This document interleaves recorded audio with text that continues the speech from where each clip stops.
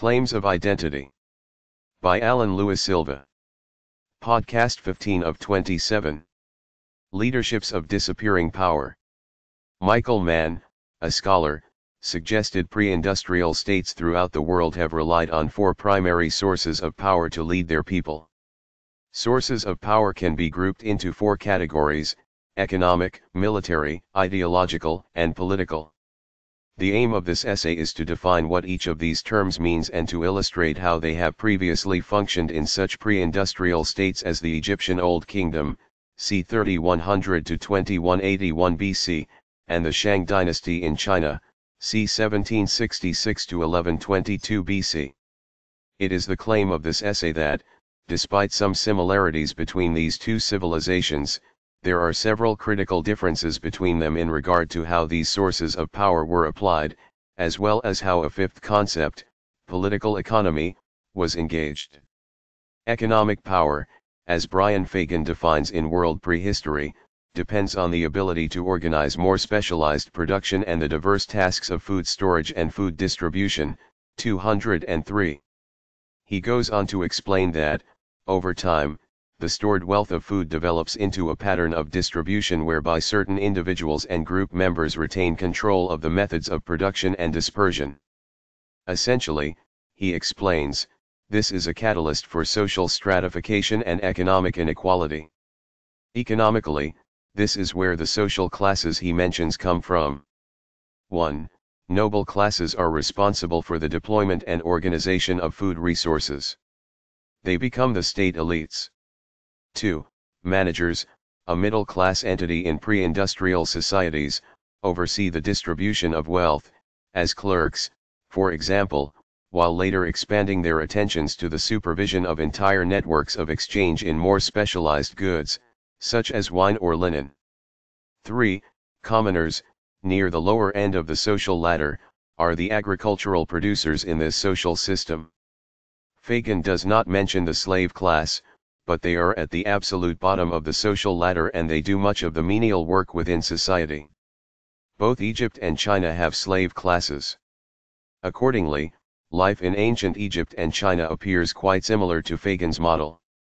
However, in comparison between each other, the magnitude of each state's relative success at maximizing wealth and efficiently channeling economic power into other avenues of control, ideological, military, or political, remain significantly distinct. Both Egypt and China were similar in that they owed much of their agricultural wealth to the practice of irrigation. As Karl Butzer writes in Immortal Egypt, paraphrasing a view of Gordon Childs, irrigation provided the agricultural surplus essential to economically complex societies, thereby creating opportunity for the development of vertically structured, urban civilizations. 13. Surprisingly, though, despite the importance of irrigation to make agricultural output more productive, Butzer also notes in the Old Kingdom there never was a centrally organized irrigation system, nor a formal bureaucracy to deal with irrigation. 16. Butzer proceeds further to mention that despite the vast importance of water rights, they were seldom written down, presumably because the Egyptians were committed to oral tradition. 17. Though unlikely, this informal system of water rights and decentralized irrigation nevertheless produced a strong ruling class in Egypt capable of organizing intensive labor and wealth for public works, such as pyramid building. The best evidence of this is the engineering marvel of the Great Pyramid of Giza which was built by Pharaoh Khufu around 2528 BC. In terms of climate, irrigation was just as important to the Shang as it was in Egypt. The area did not produce enough rain to farm millet, the chief crop there, without irrigation. Unfortunately, no records survive that illuminate the role government bureaucracy played in centralizing irrigation and formalizing water rights. But, as Patricia Ebrey writes in China, the lack of major public works might have been the result of an agricultural technology that had not advanced since pre-Shang times. 24. This suggests inefficiency on the part of Shang leaders to consolidate the economic power of their state. Military power, a quality Fagan subdivides as one part political power, is defined as, power rested in a ruler's ability to impose authority throughout society by, military means. This power lay in foreign relations and in defense and making war. It also operated at a statewide level, dealing with major disputes between factions, 203 to 204. The notion of military power being used as a ruler's method of eliminating threats to his authority and control, inside or outside of his domain, is an important one. Another important concept for pre-industrial statehood is that rulers must have their own army, one loyal to the singular entity of the ruling house itself. An army at the disposal of a ruler allows him or her to enforce one's authority with violence, if necessary, upon one's own people or an invading army. The latter eventuality for the ancient Egyptians, though, was fortuitously enough rare. As Lynn Hunt points out in The Making of the West, desert east and west of the Nile protected Egypt from invasion, except through the Nile Delta in the north and on the southern frontier with Nubia. Egyptian kings therefore always fought to control these areas, 17 to 18. Hunt mentions that, not until the first millennium BC was Egypt overrun by invaders. This relative safety from foreign threats allowed the Egyptian pharaohs to focus on retaining order within borders and controlling dissent. Internal considerations such as the building of monuments and the practice of religious ceremonies appear to have been more important. To a significant degree, even, internal dissent was minimized by the complex and powerful ideological machine that pervaded Egyptian culture during the time of the Old Kingdom, to be reviewed later. Entirely contrary to Egypt was China during the time of the Shang dynasty. As Fagan describes it, the state was a loosely unified confederacy of competing small kingdoms that quarreled and warred incessantly, 265. Carrington Goodrich describes this chaotic element amid the Shang rulers' domestic indecision in China, the reigning family and the court are said to have occupied several capitals, until they settled, some years after 1400 B.C. 49 to 50. This lack of a permanent capital for about 400 years differs widely from the long, lasting position of Egyptian government. It poses inscrutable doubts about the potency of Shang government, to establish order in a state, if it cannot first prove where it will occupy as an administrative center. The Shang state was also more warlike than the ancient Egyptians, who, for the most part, remained within their own geographic boundaries. As Goodrich illustrates further, raids and counter-raids seem to have been the order of the day for the Shang. The court needed tribute from places near and far which armed force alone could exact, 51. Perhaps by the sheer level of active military campaigns one would suppose the Shang dynasty had a better handle on the military power facets of its state, but, once again, comparing the accomplishments of both civilizations, it is clear that a country that remains at relative peace, like Egypt, remains together. A country that divides itself with war, on the other hand, becomes a land of competing small kingdoms. Ideological power, as Fagan describes it, comes from the creation or modification of certain symbols of cultural and political commonality, expressed in public and private ceremonies, in art and architecture, and in literature, 203. Ideological power should not be underestimated as a potent form of control and authority. Fagan and Michaels interpret ideological power in a dubious way because this aspect of power is typically the least understood from archaeological relics alone and is often improperly explained because it is difficult to understand the inner workings of ideology upon a given population. However, he considers that ideology never caused states to come into being, but was an invariable, and important part of their fabric once they had come into being, 7 8. In regard to the Egyptians, consider the relevance of pyramids and temples without ideological, religious, power. Each monument was likely built to strengthen the state ideology of divine kingship and to reinforce the notion of a clear succession of kingship, but that is not a complete explanation. Fagan and Michaels write the following overgeneralization.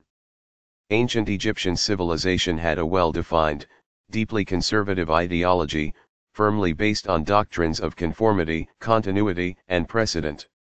Each pharaoh ruled not according to written law, but on the basis of precedents set by the gods and by earlier rulers. 711. This summary explanation of Egyptian civilization's ideological power is meaningfully meaningless. In this way, it cannot be regarded as inaccurate per se, however nebulous its description. Notwithstanding, the monuments of Egypt do certainly evidence the power and strength of its rulers. The state's long history the monuments attest would also support the ultimate expression of ideological power, by a ruler to a population, that the ruler is a god and a representative of the gods. An all-encompassing state religion that portrays its leaders as avatars is certainly one form of ideological power, as perverted as that power is in the minds of humans. It takes more than monuments to support this kind of power play. In comparison, the Shang also had an effective ideological platform, as Carrington Goodrich acknowledges, which proclaimed divine kingship and divine blessings of the state, along with multitudinous public religious ceremonies to reinforce the ideological message that Shang rulers held supernatural powers over nature and evil spirits. Various legends and folk tales denoting the labors of previous rulers also added to the illustriousness of the state and the emperor. For example, Kenneth Latourette explicates the ideological power of personality in the Chinese How. Huang Ti is credited, with inventing bricks for building purposes, erecting an observatory, correcting the calendar. And is reported to have built a temple in heaven, to have invented carts drawn by oxen, to have devised several musical instruments, and in other ways advanced civilization. 37 to 38. If this is true, Huang Ti was a quite a man. According to Goodrich, human sacrifice was also practiced by the Chinese in their public religious ceremonies. Political power, as Fagan describes in World Prehistory was, power resting in the ruler's ability to impose authority throughout society by administrative, means, 203. The word administrative here can have different connotations. One aspect of this would be the bureaucratic methods employed by a ruler to have programs and agendas carried out, such as levying taxes, collecting taxes, conscripting armies, commissioning sculptures and monuments, or employing law and order through the use of local magistrates or traveling courts. Another aspect would be the transfer, sharing, or brokering of power among individual rulers in regard to the life of the state. Effective administration mitigates the threats posed by individuals jockeying for resources, power, or influence so that overall a country can be stabilized, for ineffective administration could actually entail the downfall of a country based on the threats abstractly posed being manifested. Both the ancient Egyptian and the Chinese civilizations had extremely powerful positions for their heads of state. Neither leader was even bound to the rule of law. So, if they are so similar, why did the Egyptians last so much longer than the Shang? One reason is that the Egyptians focused on tradition as a guide for implementing the future. As Fagan and Michaels explain, the past was a model for order, a peaceful succession of reigns of previous kings, the order of the universe coincided with the structure of political power. It was the rule of kings that made containment possible, 7, 11 to 14. This is a broad speculation by Fagan and Michaels, but it is nonetheless possible that such a view of the history of the continuity of kingship in a country may have contributed to a sense of harmony and security in by minimizing alternative theories. A secure succession of rulers positively affects the bureaucracy in government, which construes a hereditary functionality. Since individuals are assured who will take power, they have less reason to scheme and create factionalism that might tear a state apart. Pharaohs, consequently, have little need to replace the entire staff of government offices upon seizing command due to the lessened fear of usurpation. Additionally, leadership replacements aided by tradition likely magnified the elements of social harmony to the lives of the people in the state since, if a country appears strong and cohesively unified, it is less likely to be attacked by another state looking for a weakness to exploit. This observation about cohesion aided by tradition and ideological power is important because the Shang dynasty did not have a focus on tradition applied to secure political succession. Shang political life was characterized by widespread factionalism that made the state hard to govern. The dynasty ended with a crash, writes Goodrich. A people, probably in alliance with other disaffected or hostile tribes, moved into, and utterly destroyed the capital city and the supremacy of the Shang, 53. This brief account illustrates how a group of disaffected tribes did strike back after centuries of Shang warmongering. The concept of political economy also merits discussion. It ties together the four above-mentioned modes of power in a pre-industrial state by illustrating how they work together and strengthen or weaken each other. In a highly centralized state, for instance, a group that controls the surplus of food in an area could use that influence to ascend to a higher position of power. Upon reaching that social position, he or she could use that extra power to secure more resources. In doing so, the ruler could use his or her greater economic influence to ascend to a position of greater power, and so the quest for more disappearing power continues. Reflecting upon the Egyptian state with the information available, one may doubt that the pattern of rising to political ascendancy through capital wealth alone is even possible we have seen that agricultural production in Egypt was not even centralized. Instead, it is the opinion of this author that the use of ideological power was much more efficient and important in strengthening the three other forms of power, economic, military, and political. Ideology acts as a powerful buoy by emphasizing a more secure, less fearful populace to adhere to common social values that honor the role of the centralized state. The weakness of this is enticed by ideology, though, to worship persons of the state as vain shows, idols.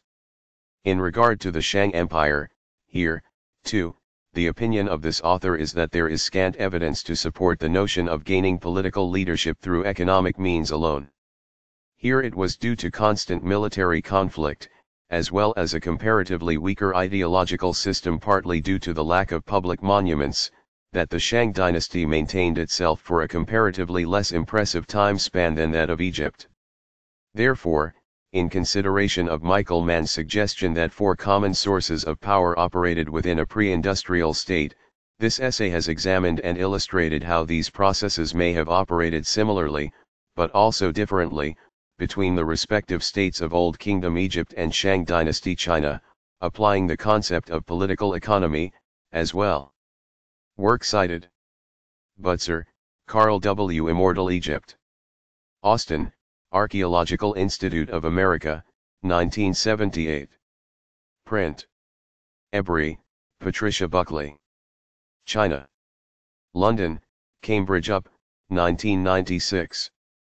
Print. Fagan, Brian M. World Prehistory, A Brief Introduction. Upper Saddle River, Prentice Hall, 2002. Fagan, Brian, and George H. Michaels. Introductory Archaeology, Study Guide. Goleta, Graphicart, 2003. Print. Goodrich, Carrington L. China. Los Angeles, University of California Press, 1951. Print. Hunt, Lynn. The Making of the West, Peoples and Cultures. Boston, Bedford slash St. Martins, 2003. Print. Latourette, Kenneth Scott. The Chinese, Their History and Culture. New York, Macmillan Company, 1957. Print.